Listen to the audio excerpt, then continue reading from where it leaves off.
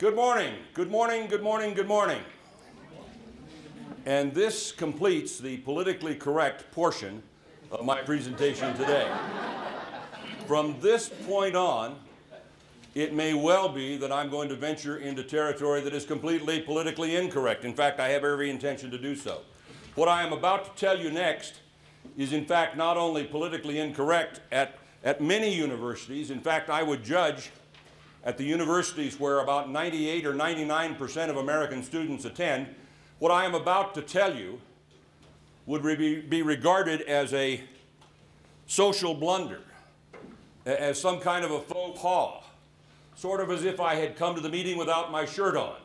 And I promise you that would have been a terrible faux pas.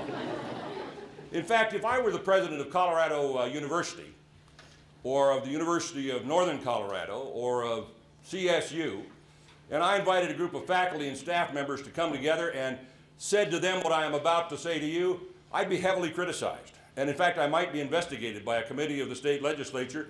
I might even be sued by the American Civil Liberties Union. What is it that I am about to say to you? I'm going to say to you, Jesus. Jesus Jesus, Jesus, Jesus, Jesus, Jesus. I have now mentioned Jesus more times in five seconds than his name will be mentioned in primetime television in a year or two. I have mentioned the name of Jesus more times in a few seconds than his name will be mentioned in the pages of the Rocky Mountain News or the Denver Post. It is completely, completely politically incorrect.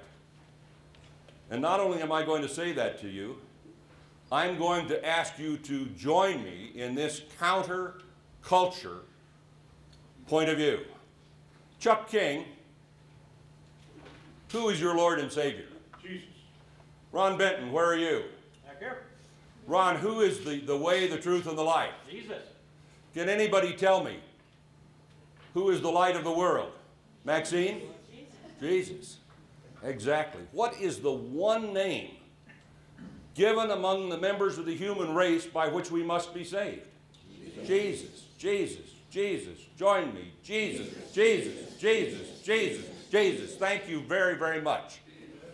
If we were at the University of Colorado, CSU, or one of those, we would all lose our jobs presently. Happily, that's not going to happen to us here. We are gathered in the name and the spirit of Jesus Christ, but we are a counterculture movement today. How many of you have ever been terribly cold? Have you ever been so cold that the, that the, that the, the, the cold just seeped into your bones and you could feel it in the marrow of your bones and your, your blood ran cold and it just was, it was freezing and, and depressing. Has anybody ever had that experience? Okay, now we know who goes to the late season Bronco games. I want to tell you about a couple that had that experience. They, uh, they lived up in Minnesota. Is there anybody here from Minnesota or who's ever lived up in Minnesota through the winter? Gail, how cold do you think it got in the winter in Minnesota? What's the coldest you ever? How much? Do you ever see 25 below? Yeah. Yeah, lots of times. I used to live up there. It can be terribly cold. Wonderful place. Summers are glorious. Winters are just, you can't believe how cold it is. Well, I want to tell you about a couple who lived up in Minnesota and who in about February just realized they had to do something. It was just too cold. They had to get away. They had to get warmed up. They had to get to where there was some sunshine. And so they agreed among themselves that they would meet in Orlando, Florida. The husband had to make a side trip. He had to go to Chicago and then was going to fly down, and then his wife was going to fly down to meet him in Orlando, and that's what they did. So the husband went off on his business trip. They'd agreed to meet a day or two later in Orlando. He went to Chicago. Uh, there was a little uh, problem at the airport. The plane to Orlando was canceled, and he ended up having to go to Miami instead of Orlando. So when he got there and got checked into the hotel, he sent his wife an email. But as luck would have it, the email was misdirected. He, in, the address, he, he put in one wrong letter, and so the email went to a different person. He expected it to go to his wife, but it went to somebody exactly different. And in fact, by a twist of fate, it went to a person, to a woman whose husband had passed away the day before. She was up in, in, in the bedroom of their home, grieving. Her children were downstairs in the living room, uh, entertaining the guests who had come to express their condolences. And suddenly, as the children were doing that, they heard a, a thud, the sound of, of a, a heavy object hitting the floor. And they went up, running up the stairs, and sure enough, here was their mother laying on the floor, and on her desk was her computer. And on the screen was an email which said, Beloved wife, departed yesterday, as you recall. Had a little problem at the gate, and so I didn't get to go where I had planned. I've received confirmation that you'll be here tomorrow. Your loving husband. P.S. You're not going to believe how hot it is down here. Mistakes will happen and misunderstandings will happen, but I'm going to tell you one thing about which in my heart there is no misunderstanding. I must have the greatest job in the world. After about 55 weeks as the president of Colorado Christian University, I am more convinced than I have ever been that God has great, great plans for CCU. It is the most energizing, most exciting, it is actually the most exhilarating thing I have ever been involved in. And before we get down to serious business this morning, I want to say to all of you how much I appreciate your friendship, the encouragement you've given me, the way you have answered my questions, sometimes even before I knew that I was supposed to ask a question, for the, uh, well, I, I just, I, I admire you all for your professional ability, for your integrity, particularly for the love that you show for our students and the fact that you're doing it all for Jesus Christ. I admire your joie de vivre. Your faithful testimony and your service are an inspiration to me. May God bless you for all you do for CCU. I am honored to be part of this with you. Well, as you know, our theme verse comes from the book of Isaiah. The Spirit of the Lord God is upon me because the Lord has anointed me to bring good news to the afflicted. He has sent me to bind up the brokenhearted, to proclaim liberty to the captives, to proclaim the favorable year of the Lord. Father, we do claim this promise. We pray that this will be the favorable year of the Lord. The academic year just began, the fiscal year that began on July 1st. We pray for your favor. And you know, it is clear, amen, it is clear to me that God is in the process of showing in very interesting and unusual and remarkable ways his favor. All I can say about Wow Weekend is wow. Was that fun? How many were there to see the students move in, to see them carry their stuff up the stairs? Wasn't it a great time? You know, before I came to CCU, I couldn't quite figure out why everybody was so excited about the day the students returned, but it is. It, it's remarkable all year long in my office, which, which looks out on the, uh, on the uh, quadrangle, on the grass, it, it, was as if the university was in a state of suspended animation, and then here came the students back on WOW weekend, and it was really terrific. We'd like to have a faculty group that would care to participate in this activity as well. WOW weekend. Here's what one of the mothers wrote to me. Our family recently attended the WOW weekend, and I want to congratulate you and all the staff and students who had a hand in putting it all together. What a tremendous undertaking. She's not wrong about that. And you made it look easy. Thanks for making our family feel so welcome. You did a fabulous job. And all I can say is congratulations to Jim McCormick and his team and to 170 student volunteers that put all that together.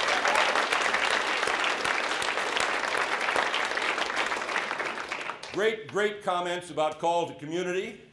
Here's a guy that needs to lose a few pounds. In fact, I have been wondering, I can't remember what I was saying when I made that gesture. Was it, what do you think I got in here, or exactly what it was? But it was, it was a wonderful occasion. Those of you who were there will remember how good it was.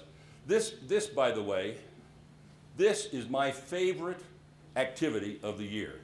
When the students come racing out of the north door of the event center and discover their fellow students out there waiting to welcome them. And then uh, if you weren't there, I must tell you that uh, when, when Steve, Taylor, and Jenny finished singing, I turned to whomever it was that I was seated next to and said, and I really meant it, Steve, are you in the room? Oh, your no, his name starts with T. He'll be here this afternoon. I said, this is the most beautiful thing I have ever heard. And it really was. It was just gorgeous. It was a wonderful moment. Chapel services off to a great start. Uh, some of you were there to see uh, Marissa Boyer introduce her dad. It was a, a wonderful moment. And then Pastor Boyer, Pastor Keith Boyer, got up and gave a great message. And he summed it up all by saying, CCU rocks to the glory of God. Two great freshman chapels with uh, Larry Crabb. Uh, and Scott, what was it that you said about those that they were off the charts or some word to that, that, general, uh, that general thought and point of view? I am very happy to tell you that even as we speak, Dr. Larry Crabb is in the process of folding, spindling, and mutilating his travel and speaking and seminar schedule so that he can be more available to us at the university, more visible in our classrooms, a great opportunity for our students, and of course, a great opportunity for uh, CCU, an honor to our university. The new student retreat, I am told, was nothing short of fabulous, 388 students. Scott spoke on the subject of compassion, uh, no, I'm sorry, of passion and calling, and he spoke with a sense of passion. He also may have said a word about some other things, maybe about basketball, swimming, the zip line. But you know the, the bottom line, though a lot of fun, a lot of hijinks, a lot of great things, but uh, in the end, this was all about Jesus. A lot of quiet time, a lot of moments of reflection. One transfer student told that she was uh, aware at her former school that uh, she just wasn't close enough to God, that actually her former school was pulling her away from God. And here's what she said, quote, I need to be in a place, I need to be in a place where I am exhorted in my faith. And don't we all? What I say to parents as they bring their prospective students here is that at CCU, you do not have to make an appointment to meet Jesus.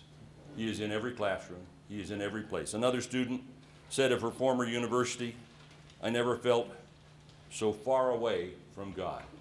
If you would like to be encouraged in your own faith, your faith in Christ and your faith in this university, I would just say go see Jim McCormick. Sidle up to him and get him to tell you some of the stories. I've just related a couple of them, but he's got a footlocker, full of stories that will really make you feel good about what we are, are doing here. All of us pray for our students every day, especially for those that have special needs. Well, a lot of good news around campus. Rave reviews for the uh, Life Development Center. Three cheers for the staff. How many from LDC in the room this morning? Well, stand up. stand up.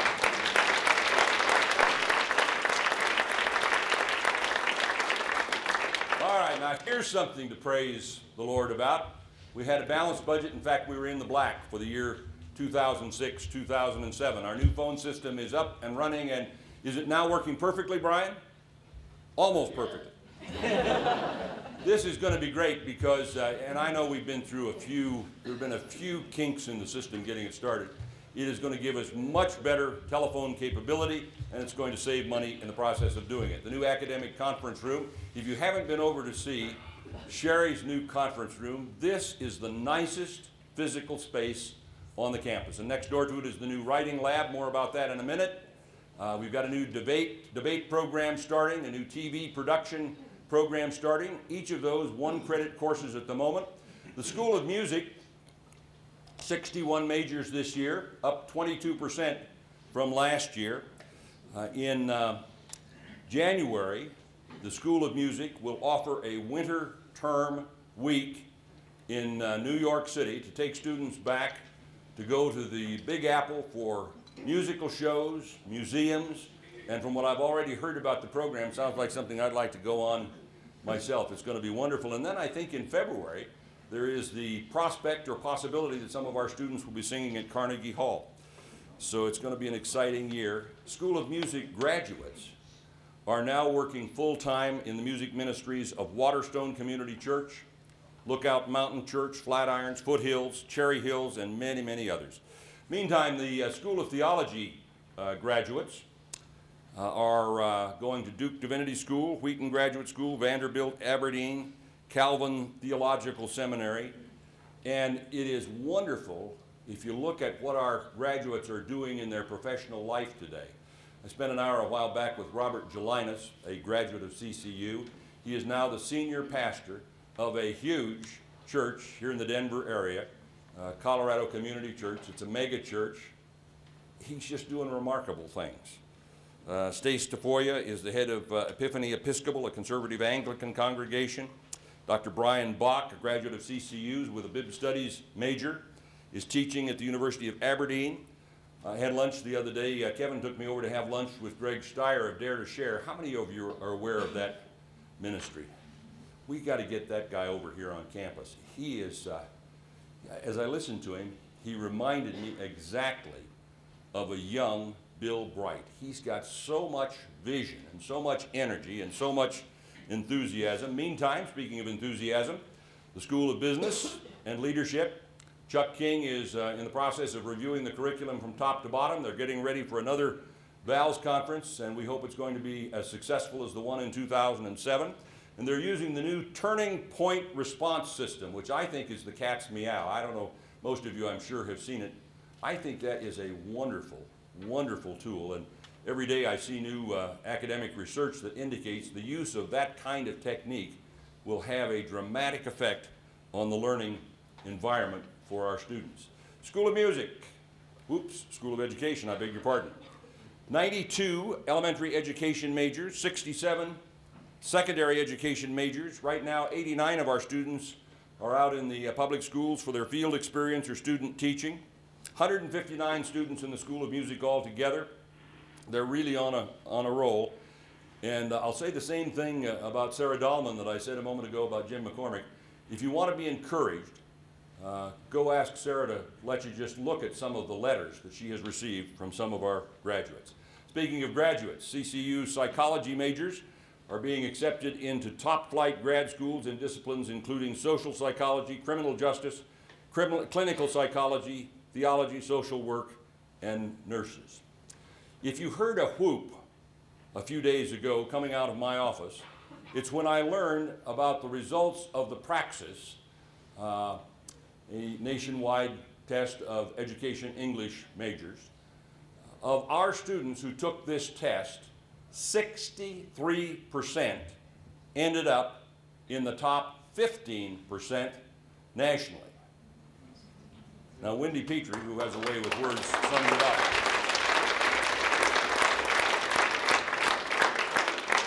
That is pretty cool. Well, well, well said, Wendy. That is pretty cool. The library is humming. Now open uh, seven days a week, 88 hours a week. I think the campus looks great, and uh, I want to say a special word of thanks to all of you who took part in the Day of Caring.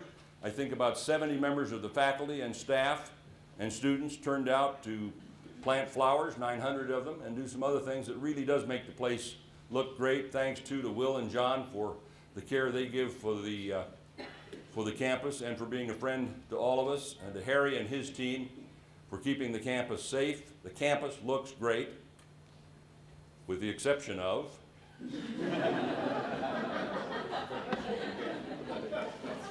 We, we are toying with the idea, we're considering the idea of asking the uh, National Science Institute to declare this a, a mold research center. Now, I want to I want to tell you why, nestled in the heart pond scum is beautiful, but I want to tell you why this has not been uh, made to look as we would like it to look. I, I called Ron uh, Benton a, a, few days ago and I said, well, now Ron, I don't know if you've noticed, but the, but, but uh, the lake doesn't look just as good as we'd like it to. and he says, well, I know that. And I said, well, could we do anything about it? And he says, no, absolutely not.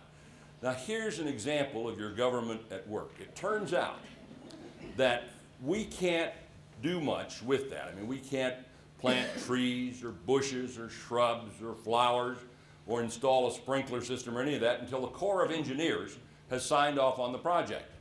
And they won't do that until the city of Lakewood has signed off on the project. Lakewood has not done that, and once Lakewood signs off, or maybe they have in the last few days, but th- did they finally sign off? They finally signed off. Okay, so now we've got just one more year to go. That's right. It takes a year after Lakewood signs off. It takes another year before they will they will uh, let us go ahead and, and start making it look like what we would like to do. I just wanted to say that so that you wouldn't think that somehow somebody had a log in their eye and couldn't see that it didn't look exactly the way we wanted to. And I asked I asked Ron. I said, well what is it that they think would go wrong if we put in a, a sprinkler system and, and some grass and some flowers? And he says, well, they're afraid if a pipe breaks that it might, uh, it might undermine the structural integrity of the dam. And I said, well, wait a minute. This dam has been designed to withstand a 100-year flood. And they're telling us that if a pipe breaks, we're going to have a problem. But all I can tell you is it is what it is. It's going to get better as soon as we can. Three cheers for Service Central. Yes. We're not there yet, but we are right on the brink of doing something great in Service Central. Um, I, I don't know whether it's right to say we're 75% there, 65% there, 85% there. Can I assure everyone in the room that that will be done by October 1st of some future year?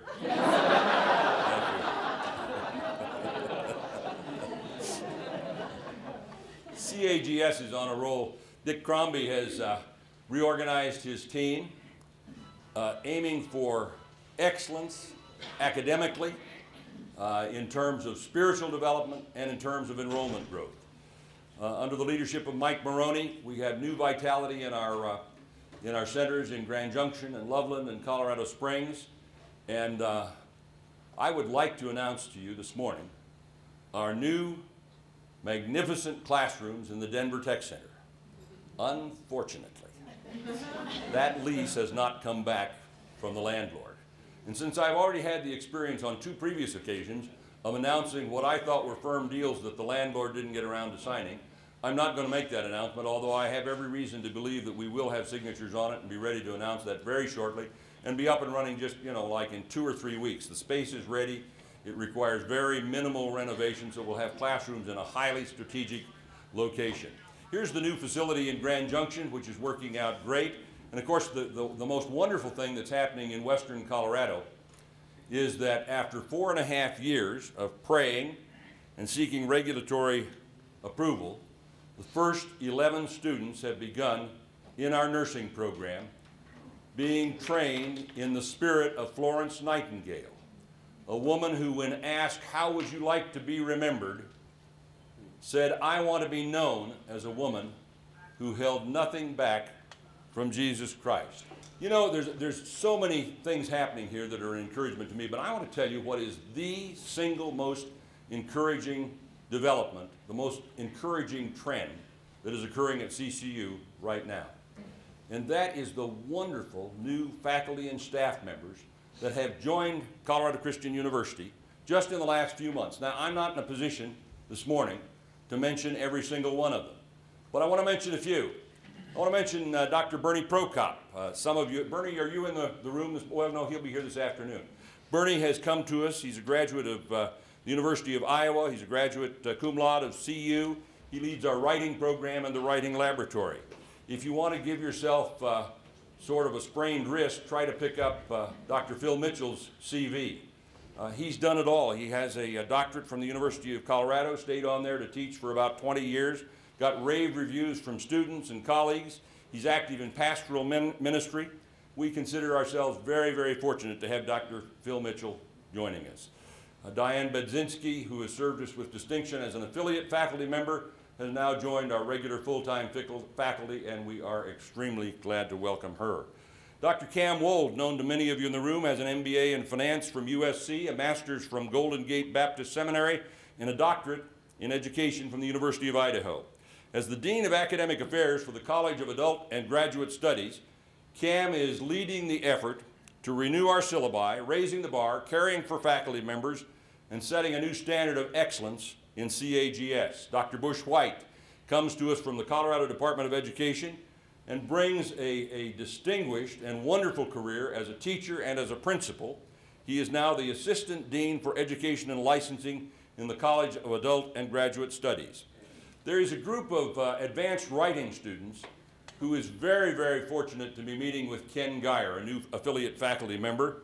He's a graduate of Texas Christian and Dallas Seminary, and he's written a lot of books. I mean, he has written more books than most people have read. Seven of his books have won silver medals. His, uh, one of his books was named the Campus Book of the Year. Two of his books have won gold medals. Uh, we're just thrilled to have somebody who can go into a classroom of aspiring writers and say, this is how you do it, and by the way, this is how you get it published. And then there is a lady who was called to the nursing profession when her son Connor contracted a brain tumor. Caring for him, she realized that God was calling her to be a nurse. And so she went back to school to get her BSN and ultimately became a level three trauma nurse at Children's Hospital. We are very happy to welcome just within the last few days, our Director of Health Services, Stacy White. New vitality, new energy in the uh, development operation, Dick Layton, who at one point ran the Yellow Pages operation for U.S. West. He was the Chief uh, Technology, uh, Chief, Chief, Information Officer for U.S. Uh, West as well. He was a consultant. He's done a lot of things, and he's really cutting a wide swath in the development area. Mark Klibbe also comes out of the business world. He was general manager of a chain of retail stores. We're sure glad to have Mark. Now, Jim Kirk, James Kirk, is not related to the captain of the Starship Enterprise. But it is a fact that he is going places where no man has gone before in pursuit of philanthropic support for Colorado Christian University. Marilyn Spittler is doing a wonderful job managing our facilities and, and uh, conferences. Dr. Melanie Day comes to us as the Assistant Dean of Business and Technology for CAGS. And before joining the university, Melanie was CFO of a media company, development manager for Nova University, a business consultant, chair of the graduate business programs of Schiller International University of Heidelberg. Let me tell you this, you can expect great, great things from our MBA program. Rick Garris joins us from a wonderful ministry, one of the greatest ministries in the world, Compassion International, where he was Director of Compensation, Benefits, and Employment. As you know, uh, he is the uh, Director of HR for CCU. He is making a huge contribution to the future of this university. Dr. Bruce Pellin, Director of our Macy program, Director of Faculty Development as well for CAGS. He has two masters and a PhD in adult learning and instruction technology. He is renowned as an author and speaker. Our new athletic director, Darren Ritchie, a man of God, a man of basketball, a man who loves students. It's going to be a lot of fun to have him leading our athletic program. David Geyer joined us just a few weeks ago. David, are you in the room here someplace? He's probably on the phone. Uh, I guess uh, two months ago, three months ago, uh, Dick, well, I can tell you some things about David. He comes to us from Indiana Wesleyan. He was director of corporate development. He has been a campus director for InterVarsity, a pastor, faculty member, consultant, and after lunching with him, I can tell you that he has the eye of the tiger. And I predict that we're all going to have to fasten our seatbelt to keep up with Dr. Barbara White. In just a couple of weeks here at CCU, Barbara White, Dr. Barbara White, who is our AVP for Health Professions, has impressed all of us who have come to know her with her expertise, her professionalism, her enthusiasm, her love of Jesus, and her spizzerinctum. And after this meeting, go and meet Barbara and ask her, what does spizzerinctum mean? now, I haven't mentioned everybody. I've mentioned a few. But part of the, part of the sign of a great university is its ability to attract great people. Now, everyone I've mentioned is not in the room because some of their names start with a, I don't know, L through Z or whatever it is. But may I ask everyone, whether I've mentioned your name in the last few minutes or not, who has been, who has joined this university within the last 24 months, to just please rise and let us take a, take a look at you. Just stand up.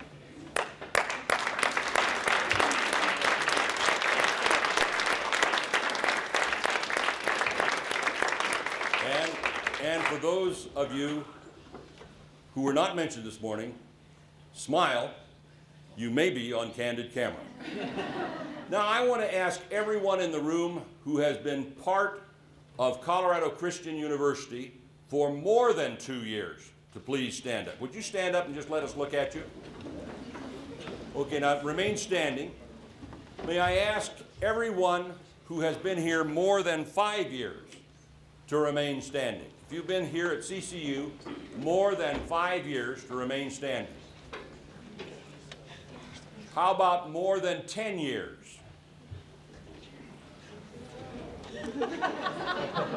How many years? 12 years. Alan? 31. 31 years. How many years? 11 years. 16. 16 years, and you're just getting started. Great. Sana? 13. 13 years. 10 and a half. 10 and a half. Sherry? 14. Well, you're with the TV company. I was going to ask you how many years. I was going to say, where is that back there? 11. 11 years. Jim? 13. 13 for Jim McCormick. 10 and a half. 10 and a half. 16. 16, and Frank, I know it's 32. Uh, not that old, 26. 26. Time passes quickly when you're having fun. I want to just, just pause, and Lee, Lee McDowell, the Vice Chairman of the Board of Trustees is here this morning. Would you just uh, rise for a moment and say a word of, of thanks and a word of encouragement to the Lord about our wonderful faculty and staff? I would be happy to. Father, there is so much we have heard this morning that our hearts may be just filled and overflowing with gratitude for the work that you have done and the work you are doing through this university. But right now, Lord, I thank you for the great people you have brought to CCU. Lord, I thank you for their commitment to you first and foremost.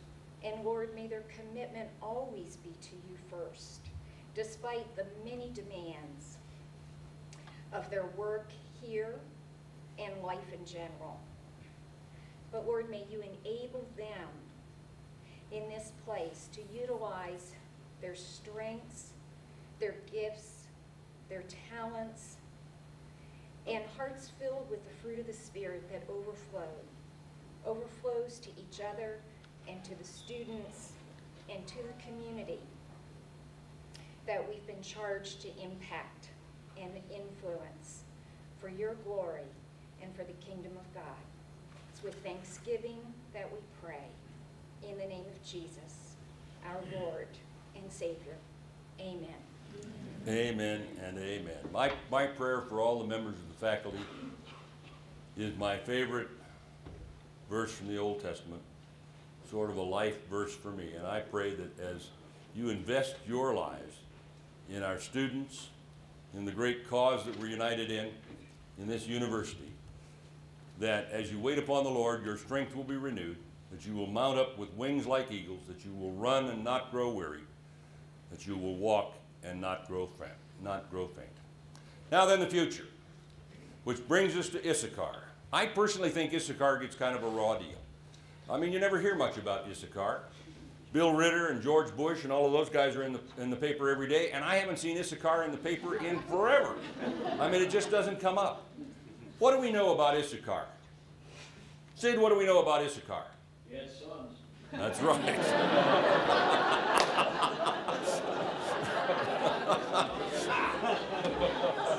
That's why he's a professor, folks. you know, the thing about Issachar that I find fascinating is you remember this appears in a listing of the, of the tribes that were getting ready to go to war. And it told how many warriors there were in one tribe and this, that, and the other thing about the other. But when they got to Issachar, the scripture says these were men who understood the times and knew what Israel should do. Or in another translation, it said, men who understood the times and knew what the best course of action would be for Israel, knew, knew the course of action that Israel should take. You know what I'm wondering as we gather here this morning?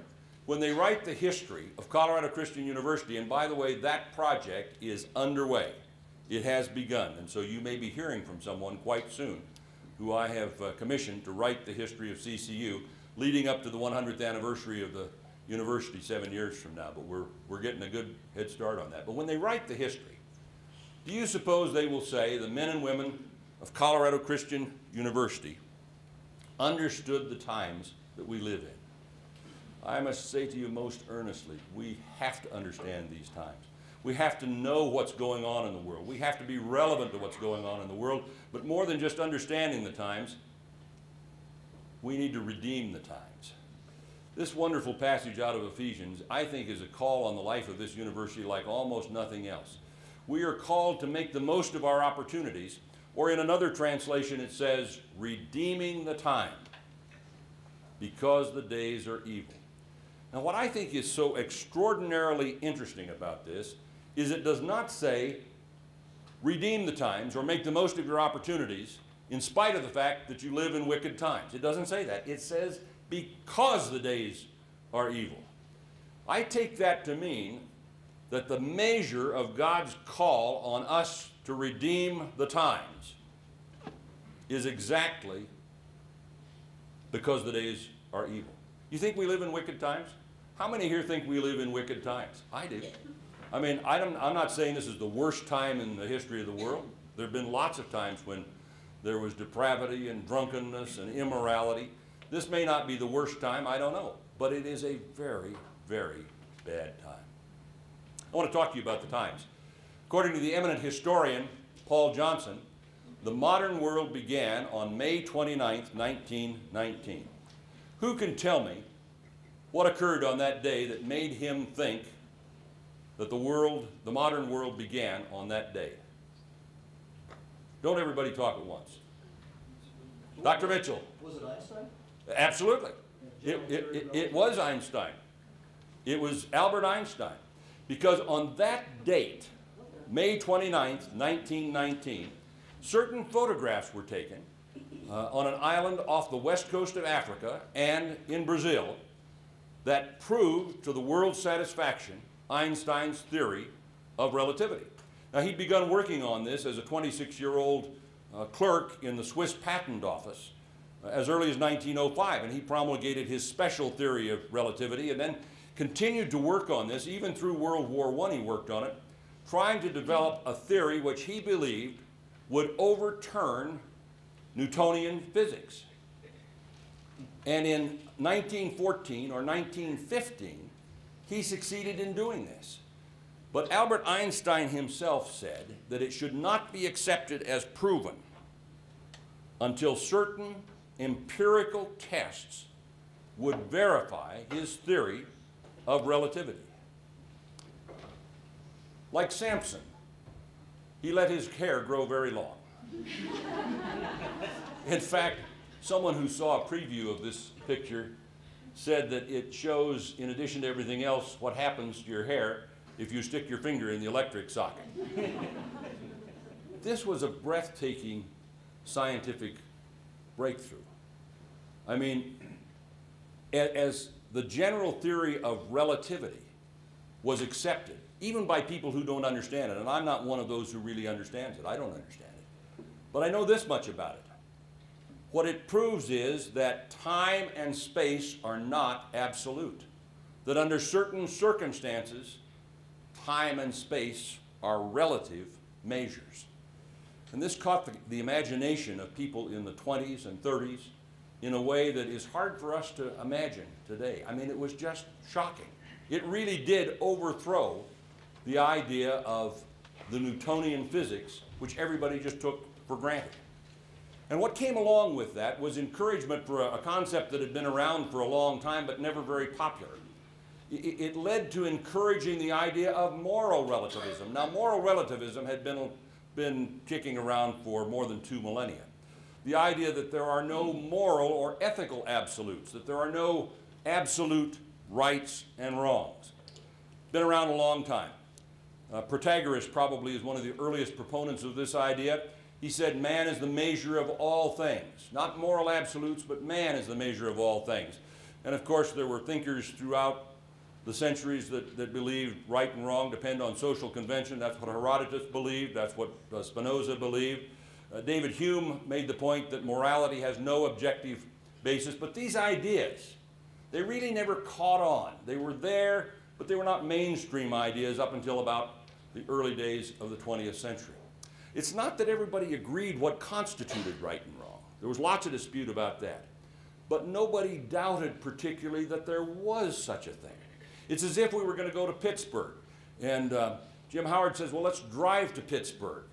And uh, Lee said, no, let's take a, a Hertz rent-a-car. And somebody else said, let's take the train. And somebody else said, let's fly there. Somebody else said, well, let's set out to the west coast and fly around the world and, and approach Pittsburgh from the east.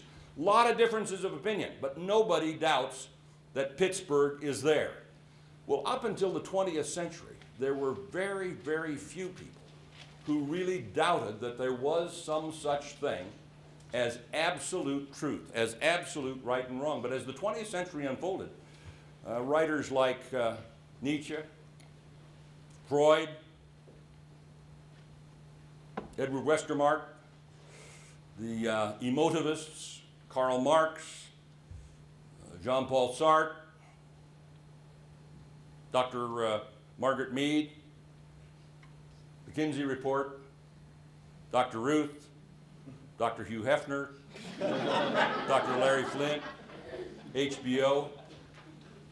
These people, and a lot of others, encourage this notion that morality is relative, that it is not absolute. Now, of course, this is a, this is a concept, an idea which has come into prominence, has really become into vogue during the 20th century, which, which is completely the opposite of what the Bible teaches.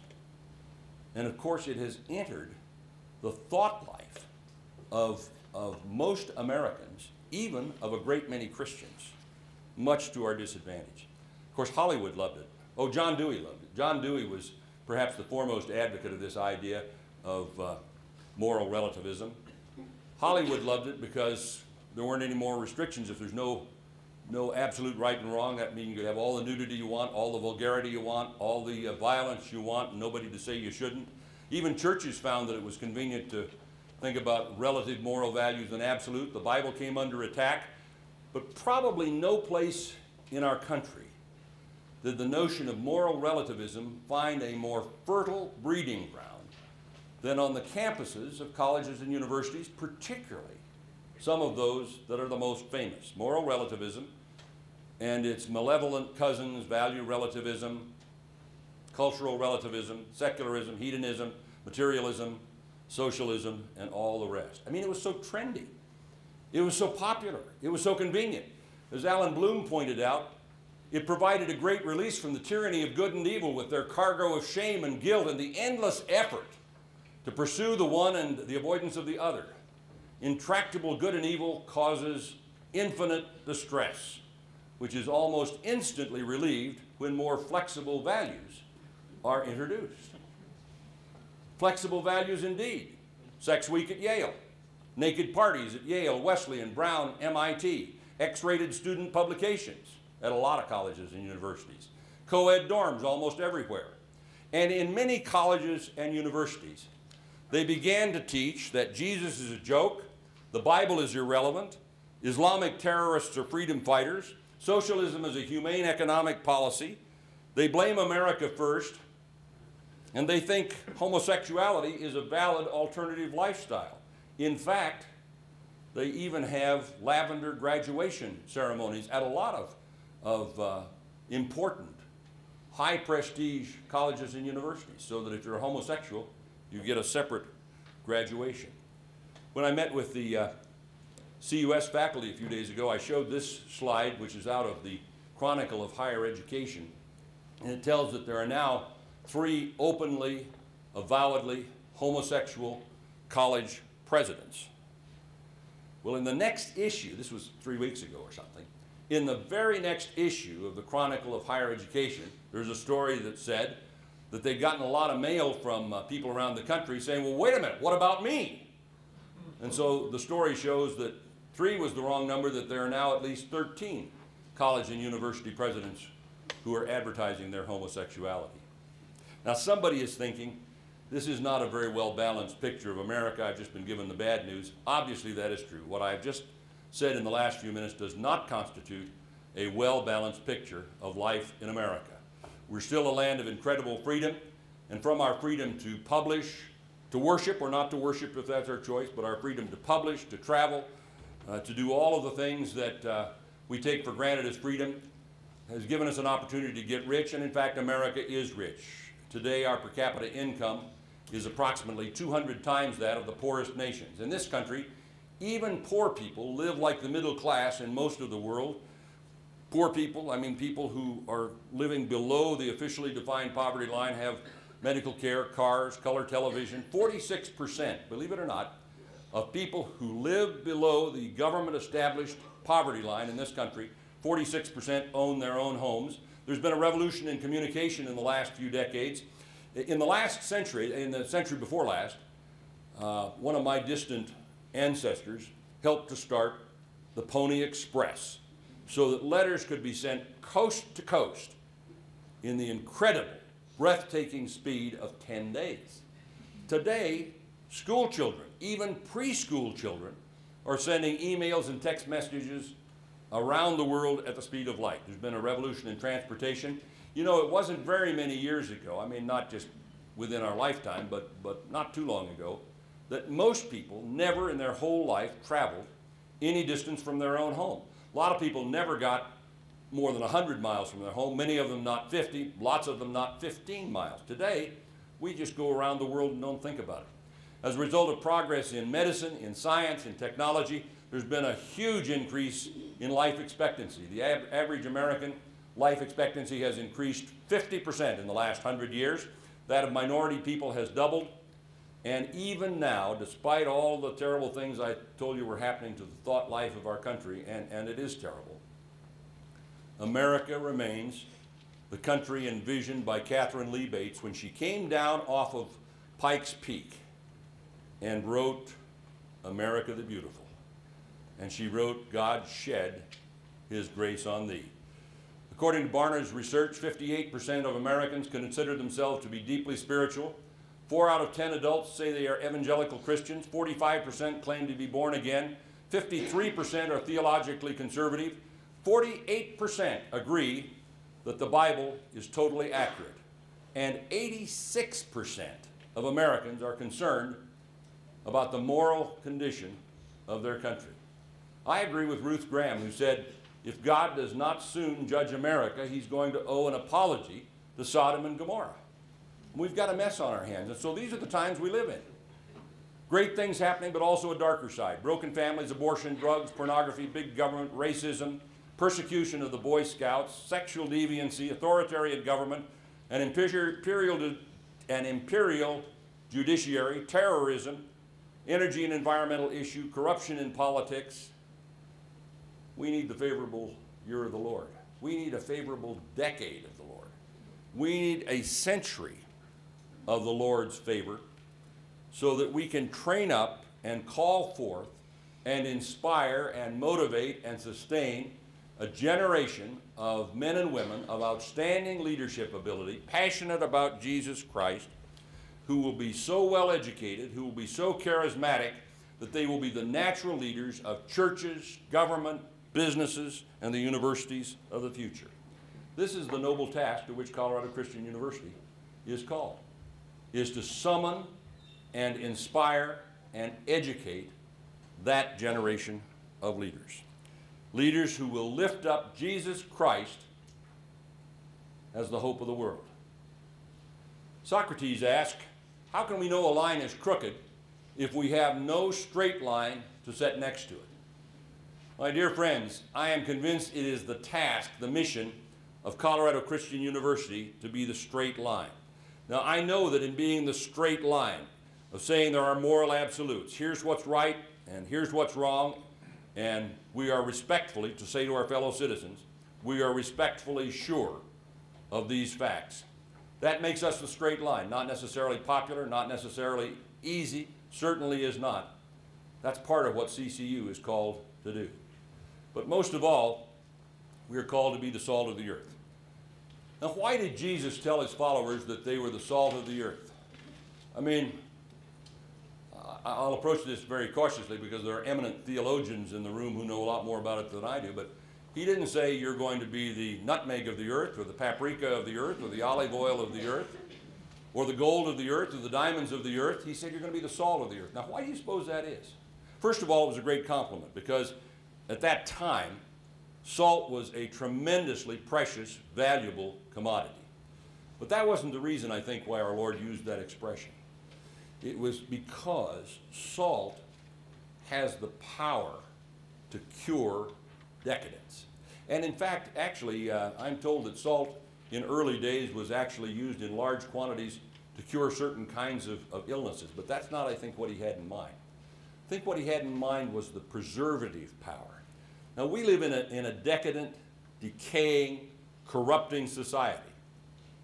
I believe that we are called to be the salt of the earth and to provide the antidote for the infection, for the corruption that we have in America today.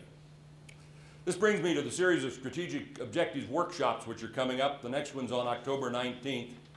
And uh, I am indebted to uh, Ryan Hartwig for a great idea, which I haven't yet taken him up on, but I'm going to by the time of the October 19th workshop. We're going to put together a little document that shows how our vision and mission statement and strategic objectives fit together because far from being in conflict, they fit together seamlessly. But in the next several months, we're going to look at each of several of this university's strategic objectives and really get our heads around them, have a chance to look at them seriously, to contemplate them, and, and to really understand what they mean and what their implications are. Obviously, one of our most important strategic objectives is to teach students to trust the Bible. Now, in an age of moral relativism, it is only natural, only natural, that the Bible would be treated as tentative, provisional, subject to criticism, probably wrong, maybe wrong as much as it's right, only natural that that would happen. In his great new book, The Truth War, John MacArthur writes spiritual terrorists and saboteurs within the church pose a far more serious threat than manifestly hostile forces outside the church. I believe that that is correct. Well, on October 19th, Dr. Don Sweeting and Brian Bissell will lead a uh, workshop on teaching students to trust the Bible. Uh, I think you all know uh, Brian, but let me tell you about uh, Dr. Don Sweeting, a member of the CCU Board of Trustees. He is the senior pastor of Cherry Creek Presbyterian Church, a graduate of Lawrence University, Oxford, and Trinity Evangelical Divinity School. He is chairman of the Theology Committee of the Evangelical Presbyterian Church, the author of two books and of numerous articles. Don and Brian are passionate about the veracity of the Bible. It's going to be a great session on October 19th. We're going to teach students to live holy lives. I happen to have known Dr. Charles Malik. He, he passed away several years ago, a number of years ago. He was a great statesman. He was a great scholar.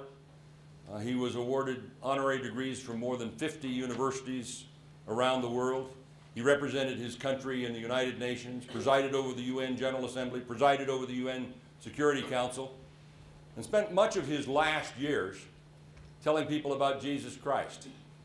And I was profoundly touched by his explanation of the world as he saw it then. Now, this was a number of years ago, even before all of these trends of moral relativism had really played out.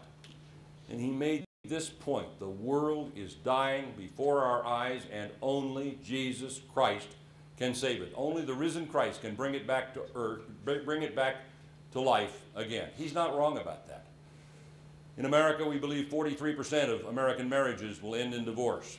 Last year, 37% of all births were to unmarried women, two thirds uh, among minority uh, women.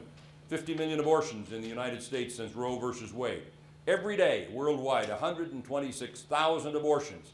19, almost 20 million Americans use illegal drugs. Pornography is a bigger industry today than all of pro sports combined football, basketball, baseball, rugby, you name it.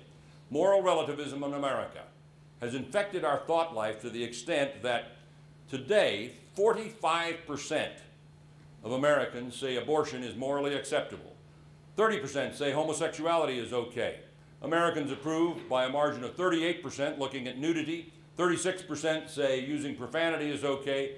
And 35% say getting drunk is all right.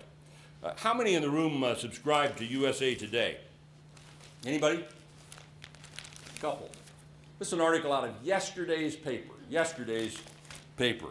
Some of you remember Will Rogers, who used to say, I only know what I read in the newspaper. Well, I wouldn't want to tell you that, but here's, a, here's an article that just tells how far this trend has gone. Should homosexuality be considered an acceptable alternative lifestyle? In 1982, when that question was asked, 34% of Americans said yes, it was an acceptable lifestyle. In 2007, the same question was asked, and that number is now 48%. Do you approve or disapprove of men and women living together without being a married? In 86, that number was 43%. Today, it is 79%. Desperate, uh, desperate times in America. This is a moment we really need to redouble our efforts to teach students to live holy lives. Well, Jim McCormick, Heidi Ross, Scott Werner, and Joni DeBrito are going to do that in a, in a uh, strategic objective seminar that will be coming up shortly. Here is something that is so close to my heart I can't tell you. To teach students to be evangelists. Uh, incredibly, I'm a university president. Prior to that, uh, I was, had a life in politics. Uh, I've been a businessman all my life, but God's real call on my life is evangelism. Very, uh, actually, a very strange the way that turned out, and I'll tell you about it sometime, because I'm the least likely person to become an evangelist, and yet that's what He's called me to do. And I think He calls all of us to do that. He has called us to make disciples of all nations. He has called us to be accountable for our faith.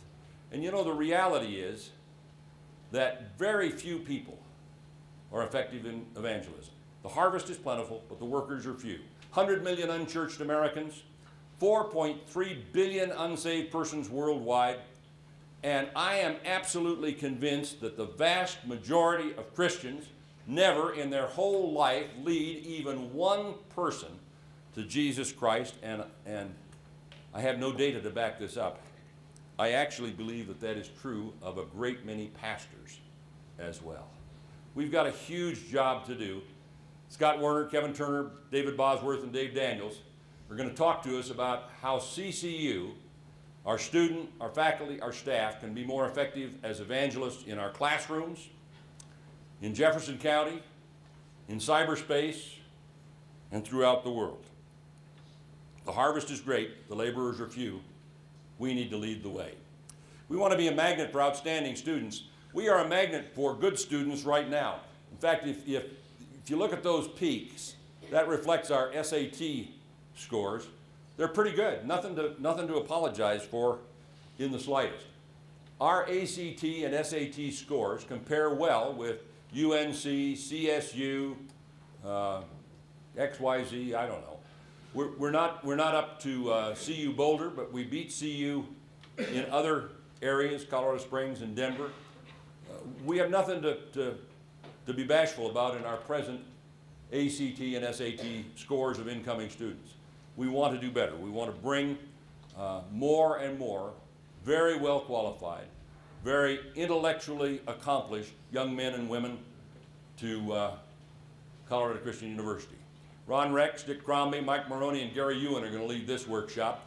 It's going to focus not only on the nuts and bolts of how we bring people to the university and what every one of you can do, because every member of our faculty and staff can have a huge role in recruiting students, the right kind of students, students who are filled with the Holy Spirit, who are ambitious, who are intellectually accomplished, who want to change the world.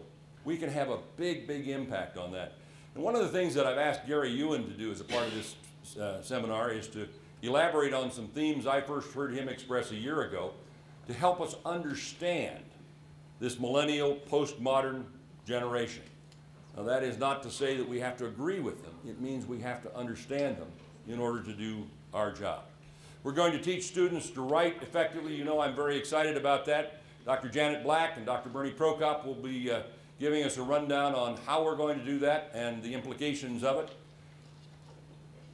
Now, one of the things that many of you have heard me refer to repeatedly is that a biblical view of human nature leads to a natural preference for limited government. We're not letting government get too big. James Madison wrote that if men were angels, there would be no need for government. If men were angels, no government would be necessary. But of course, our founding fathers realized men are not angels. We have to have government to keep us from abusing each other, exploiting each other, killing each other, stealing from each other. The question is how much government? How much government is the right amount? George Washington put it well. He said, Government is not reason, it is not eloquence, it is a force. And like fire, a dangerous servant and a fearful master. Thomas Jefferson believes, well, Lord Acton first, the great uh, historian of liberty, made the point that, that people in power tend to put their own interests first. And he said, power corrupts, absolute power tends to corrupt absolutely. Jefferson believed that the government which governs best governs least. Woodrow Wilson said the history of liberty is the limitation of government. And Barry Goldwater, a great but somewhat misunderstood leader of our country, in whose chair I sat for several years after he departed from the United States Senate, said the government that's big enough to give you everything you want is big enough to take everything you've got. Well, we're going to ask Jeff Mallinson, Bill Mesa, Dennis Jacobson, and Ryan Hartwig to talk to us about that. A tremendously important subject. And if you think about it, if we're serious about educating leaders, men and women who will go out to lead our churches, our businesses, who will be congressmen, senators, moms and dads, this is one of the big issues they need to deal with, and we need to get them prepared to do it. Tamara Brode and Sid Buzzell will be talking to us about free markets, why free markets mean prosperity and human freedom, why regimented markets mean human misery and economic stagnation. Now, some people think the U.S. Constitution has been hijacked. I happen to be one of them. So does Chuck Colson think that. George Will thinks that. Professor Russell Hittinger thinks that. And a lot of scholars believe that. Many of us believe the Supreme Court's abusing its power. Some have written that there's been a judicial coup d'etat. Is this true? I think it is, by the way. But that's something I would ask you to think about as you hear our seminar on this subject. And if it's true, what are the consequences for us as citizens, as a university, and as followers of Jesus Christ?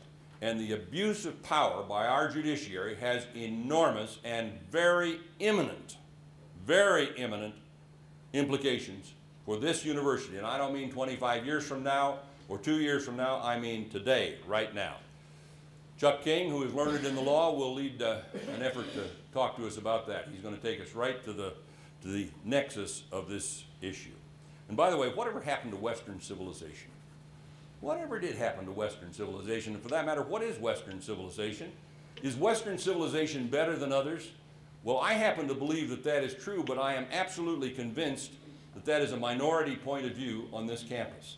We need to talk about that. We need to have a real understanding of what Western civilization is about, if it's better. The reason I think it's better is just mainly empirical.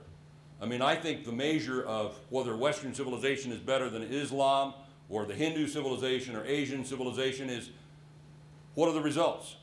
And in terms of human freedom, religious tolerance, the rights of women, uh, progress in science, medicine, education, I think we're a superior civilization. I do not think it proves that God loves us any better, certainly not.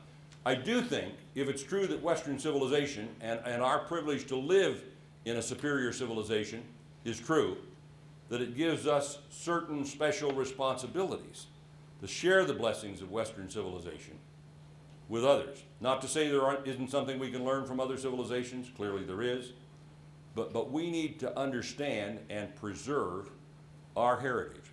How many in the room remember when Jesse Jackson went out to Stanford in about 1988 and he led the students in chanting, Hey, hey, ho, ho, Western Civ has got to go. We need to start the chant, Ho, ho, hey, hey, Western Civ is here to stay. This is crucial. Does Western civilization have its fault? You bet it does, and we need to be conscious of them. We need to be prepared not only to defend Western civilization, but also to reform it. How does it compare with others? I mentioned the, uh, the rights of women. I mean, when people tell me, I, I just can't believe it. I've had students on this campus say that they just can't see why we're, we're superior to other civilizations. And I ask them how much they know. I had a young woman tell me that not very long ago. I said, well, how much do you actually know about how women, for example, get treated in the Hindu civilization or the Islamic civilization? Is Western civilization under attack? You better believe it. What are we going to do about it? Well, we're going to ask Stan Dyke, Bill Watson, and Phil Mitchell to give us the answer to that. And over the course of the next uh, several months, perhaps not within the confines of the next eight or nine months, we're going to talk about all of our strategic objectives and much, much more. Now, in a moment, I'm going to sum up, and uh, then I'd like to ask for your questions. If you have a comment, a question, if anybody wants to make a speech, this would be a good time to do it. We have a good crowd here this morning, so if anybody wants to announce their candidacy for public office, this would certainly be a good uh, opportunity to do that.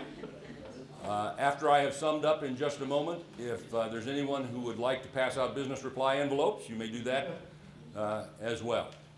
But before I sum up, I do want to tell you that if you've enjoyed the pictures this morning, uh, Paige Burke did all of those on very, very short notice. In a couple of days, she, she not only assembled those photographs, but she actually took quite a, quite a number of them, for which I am thankful. Let me finish up.